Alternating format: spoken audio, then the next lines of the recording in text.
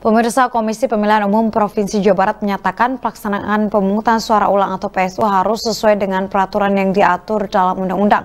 Pihaknya akan mengkaji dan koordinasi terlebih dahulu dengan Bawaslu untuk menentukan apakah akan digelar PSU atau tidak.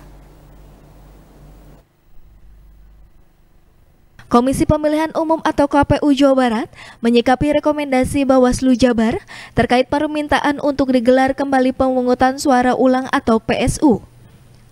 Ketua KPU Jabar Rifki Ali Mubarok menyatakan akan mengkaji terlebih dahulu rekomendasi PSU yang disampaikan oleh Bawaslu.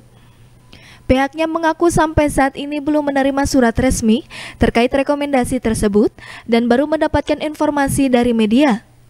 Jika sudah ada surat, KPU Jabar harus berkoordinasi dengan Bawaslu dan KPU Pusat untuk langkah selanjutnya.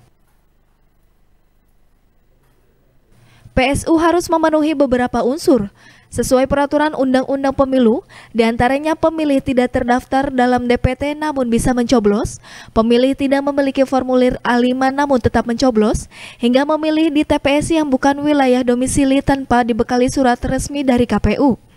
KPU Jawa Barat sendiri masih menunggu surat resmi dari Bawaslu untuk kemudian disampaikan pada KPU Pusat. Pihak KPU Jabar juga masih berkomunikasi dengan KPU Kabupaten Kota terkait untuk mengklarifikasi dugaan pelanggaran tersebut.